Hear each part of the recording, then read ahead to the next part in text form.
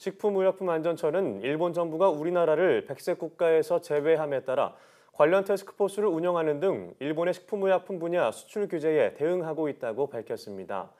식약처는 지난 2일 일본 수출 규제 태스크포스를 구성해 분야별 영향과 대응 상황을 점검하고 있습니다. 식약처는 관련 업계와 협조 체계를 유지하고 산업계 의견을 청취하기 위해 식약처 홈페이지에 일본 수출 규제 기업 애로사항 신고 창구를 개설했습니다. 식약처는 앞으로도 수출 규제 대상 원료와 부품의 신속한 수입 통관이나 수입국 변경과 관련된 허가사항 변경이 필요한 경우 등에 신속하게 대응할 방침입니다.